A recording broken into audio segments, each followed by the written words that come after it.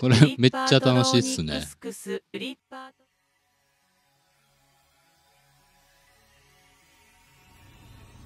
こんにちは。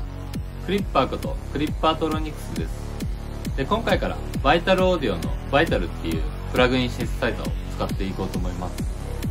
で、このバイタルっていうシンセサイザーは、ウェーブテーブルっていう方式の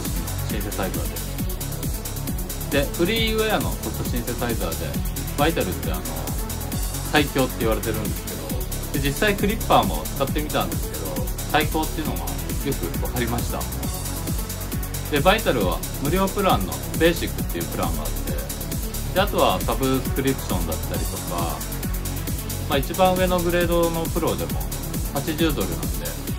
1万円しないぐらいで使えるんで、ちょっと買ってもいいかなと思うぐらい、すごいクオリティが高かったです。で、無料のベーシックとその有料プランの違いっていうのは、まあウェブテーブルの数だったりとか、プリセットの数ですね。でテキストの読み出しの機能なんかも制限があるみたいです。でも基本的なシンセサイズはフリーのベーシックでも十分行うことができます。でクリッパー的に何が一番良かったかっていうとまあ音はもちろんいいんですけど視認性がめちゃくちゃいいです。でオシレーターからの信号の流れとかそのエンベロップだったりとかモジュレーションこれを目で見て分かることができます。で見た目もカラフルですし初心者の方とかに全然おすすめできるシンセサイザーですではバイタルオーディオバイタル楽しんでいきましょう。じゃあバイタルを立ち上げるとこんな感じになります。左上のバイタルのロゴをクリックするとサイズの変更をすることができます。最大400%まですることができます。でバイタルはまず4つのモードがあります。まずシンセサイザーの基本的なサウンドの元になるオシレーター。でこれはオシレーター3つまで使うことができます。でさらにサンプルっていうところでサンプルを読み込んで使うこともできます。でデフォルトだとなんかノイズ系の波形が多いんですけど普通に自分でピアノの音とかドラムの音を読み込んで使うこともできます。でバイタルはフィルター2機搭載しているのでそれぞれ使うことができます。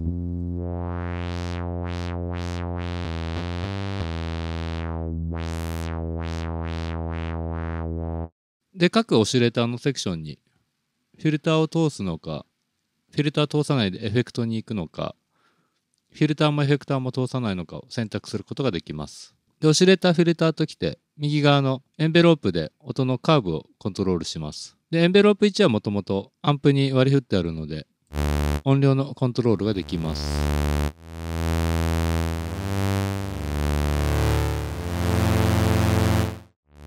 バイタルって本当にこの波形の動きが目で見てわかるんですごい音作りしやすいですよね。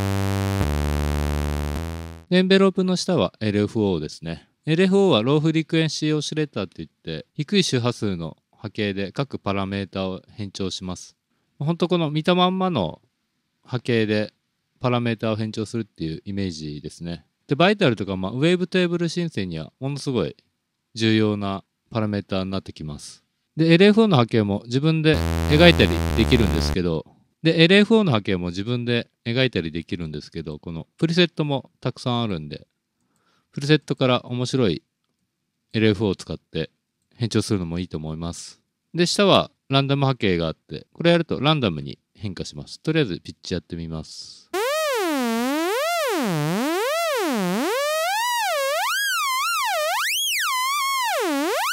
この変調した時にこの丸のところを上下させるとこの変調の深さをコントロールすることができます。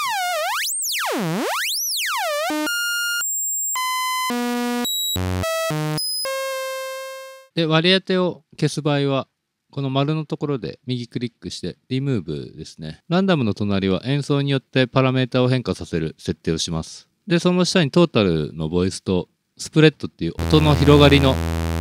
設定ですね。でグライド。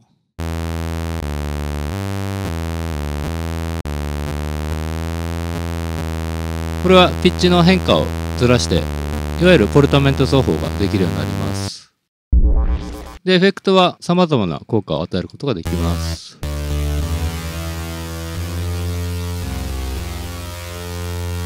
エフェクトもすごいグラフィカルで見やすいですよね。でエフェクトはこの並び方も変えることができます。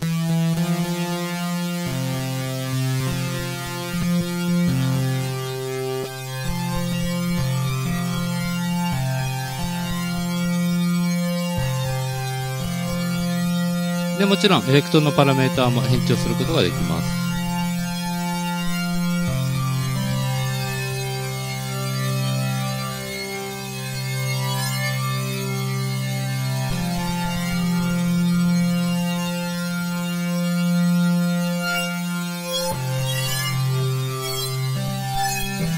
た新たな音作りができそうな気がしますね。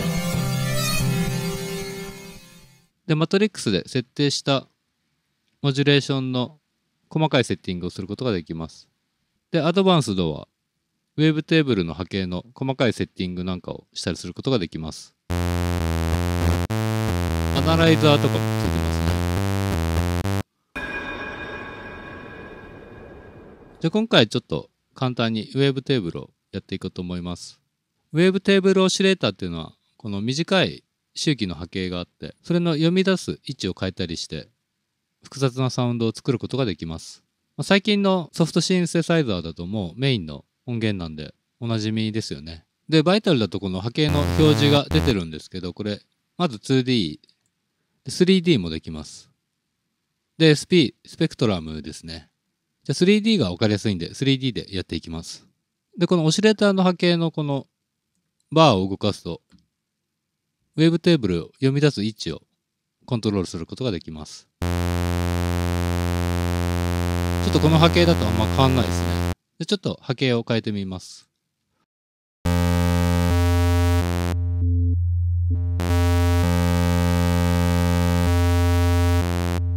このベーシックシェイプズだとこのサイン波から始まって動かしていくとノコギリ波になってでパルス波になっていくっていう感じですね。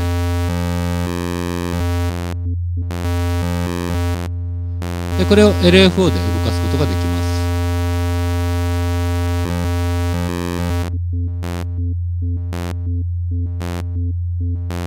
でちょっとこれで深さをコントロールします。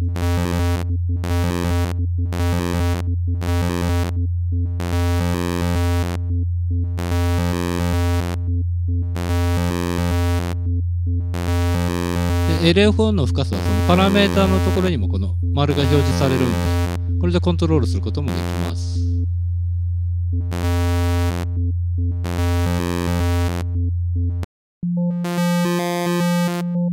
でちょっといろいろ波形を変えてってみます。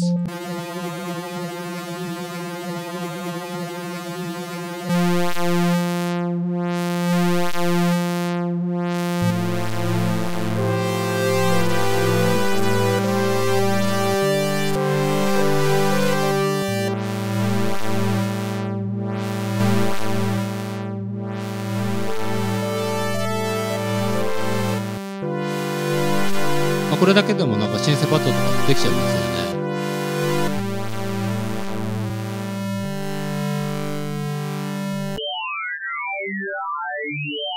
これまた全然面白い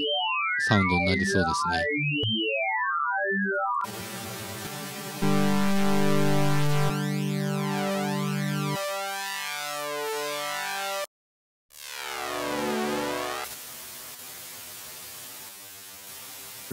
これちょっと今っぽいサウンドですね。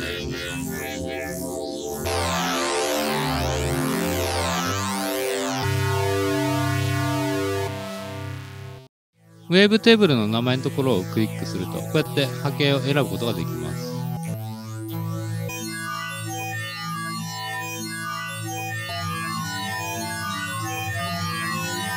なんかもうこれだけでサウンドになっちゃいそうですよね。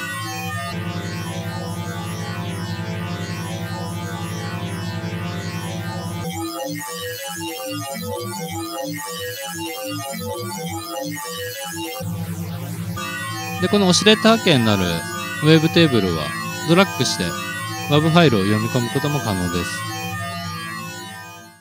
でこのバイタルならではの面白い機能があって、この波形のところをクリックして、 Text to Wavetable っていうのが出てくるんで、これを選びます。で、テキストを入力します。この TTWT っていうのは Text to Wavetable で、入力したテキストをウェブテーブル波形として鳴らすことができます。Caripatronics, Caripatronics, Caripatronics, Caripatronics, Skin Archdipper Caripatronics, Skin Archdipper Caripatronics. でこれ LF4 の波形で読み出し位置を動かす設定をするとちゃんと全部テキストを言いますでちょっと割り当ててみますでこの LF4 を下から上に上がる設定にします Patronics, Patronotronic, Caripatronics, Caripatronics, Caripatronics, コードも鳴らすことができます。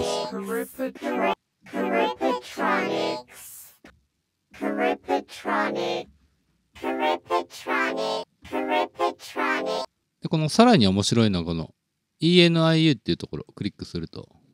何語で発音するかっていうのを選択することができます。これかなりなんかユニークな機能っすよね。じゃあ Japanese を選んでみます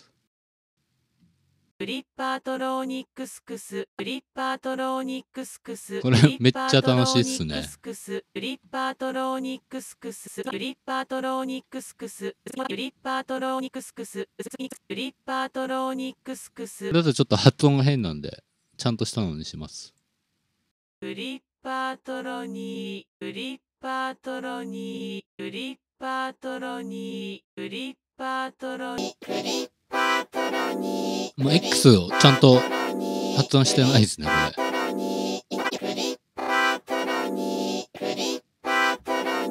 まあ、こんな感じで簡単にボコーダーみたいなサウンドを作ることができます、でこれサブスクリプションとプロは無制限なんですけどベーシックとか無料のプランだと1日5回までの制限があるそうです。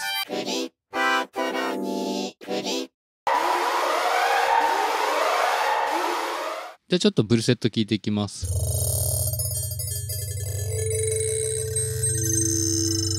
あこれいい感じですね。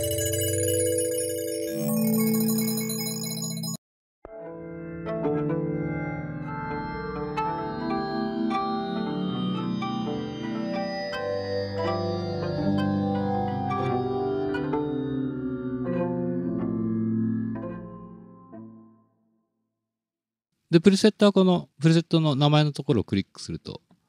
ブラウザーで選択することができます。サウンドごとに絞ることもできます。ベース、も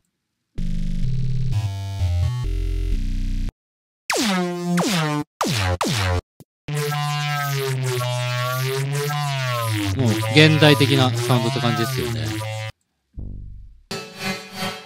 やっぱブリセットとか使ってもこうやってその波形の流れとかモジュレーションの動きがわかるんですごいいいと思います。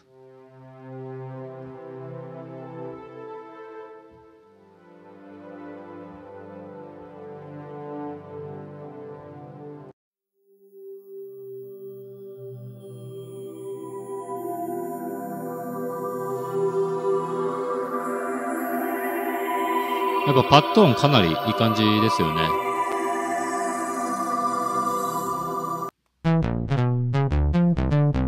こういうクラシック系のアナログっぽい音も出せますね。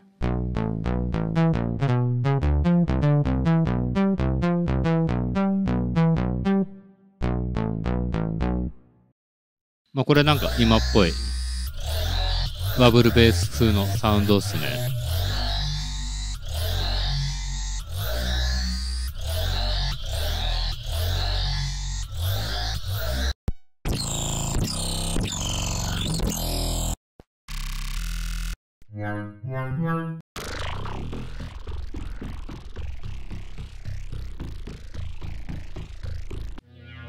なんか効果音とかもすごい作れそうっすよね。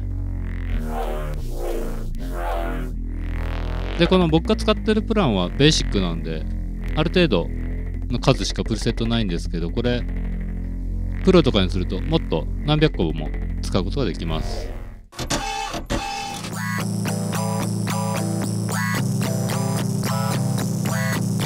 まあこんな感じで今日は触りだけやってみたんですけどもうこれだけでも